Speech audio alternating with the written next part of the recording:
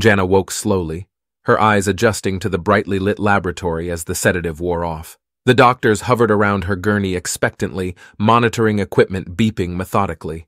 The lead researcher, Dr. Carson, leaned over her field of vision.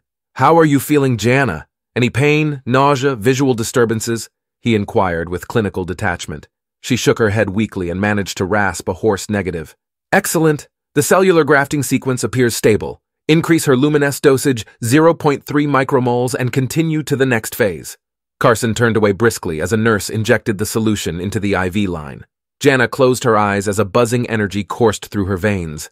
The experimental gene therapy was designed to express bioluminescent proteins in certain ocular cells, theoretically granting visual perception of higher frequency light outside normal human limits.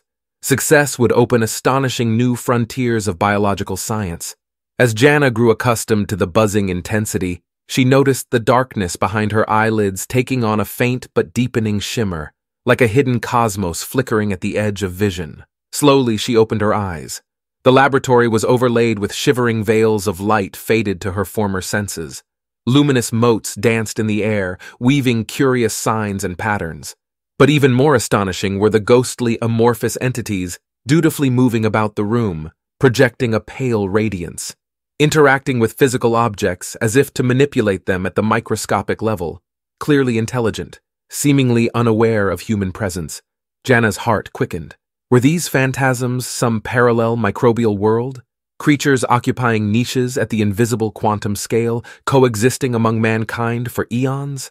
As her altered sight adjusted, their presence seemed to permeate everything, outnumbering visible life millions fold.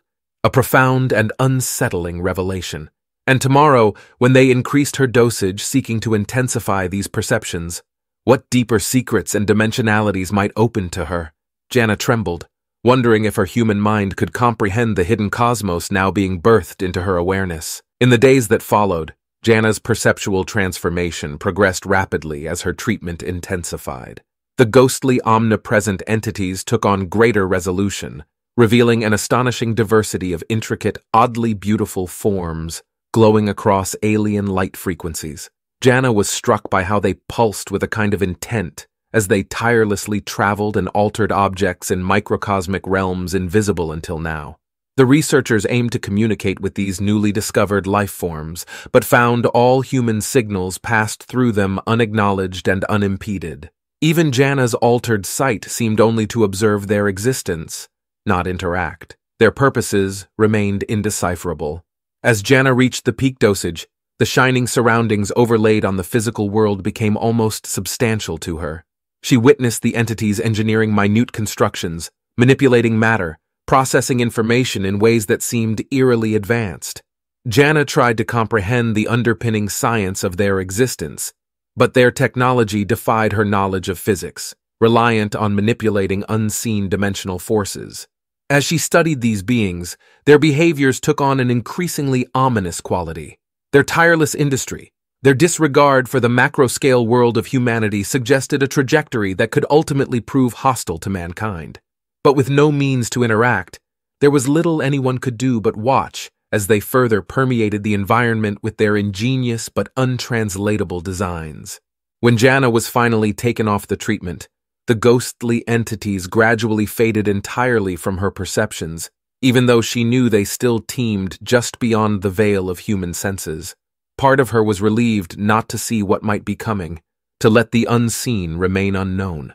But part of her also now felt that blindness to these emerging realms was perhaps the greater danger.